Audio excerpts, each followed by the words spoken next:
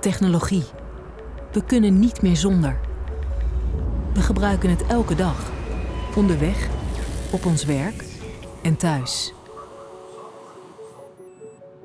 De technologische ontwikkelingen volgen elkaar in snel tempo op. Dus bedenk je eens wat er in de toekomst mogelijk is.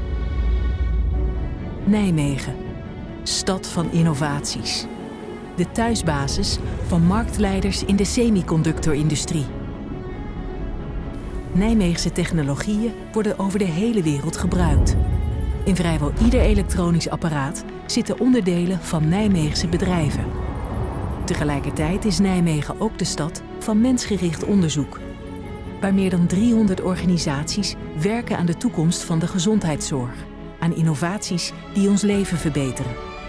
Door de toepassing van nieuwe technologieën kunnen mensen met een dwarslesie weer lopen en kunnen patiënten die volledig verlamd zijn weer communiceren.